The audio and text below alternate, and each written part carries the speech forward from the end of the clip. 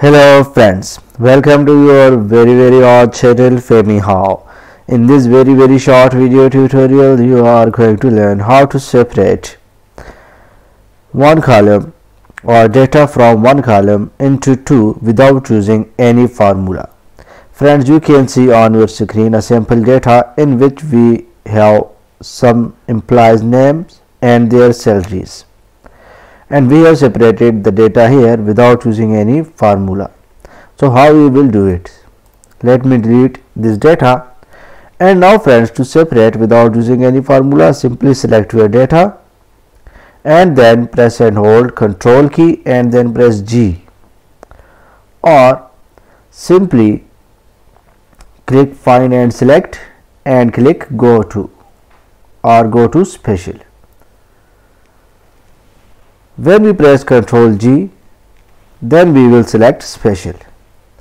Now select constants and uncheck numbers, logicals and errors. Click OK.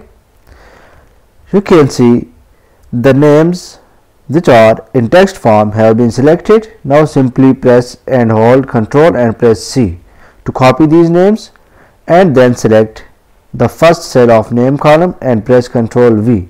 And you will get all your names here. Now it's time to copy the cells of these employees. So to copy again select the data. And then again press ctrl G. Special constants. Now uncheck text logicals and errors click OK. Now the numbers has been selected. Control C to copy these numbers. Now select the first cell of cell column and press Control V. Now you have all the cells here in separate column. So friends, I hope you have learned how to separate data from one columns into two without using any formula in Microsoft Excel. If my video helps you in any way, please subscribe my channel and hit the like button. Thanks for watching. Thanks for your time. Take care. Goodbye.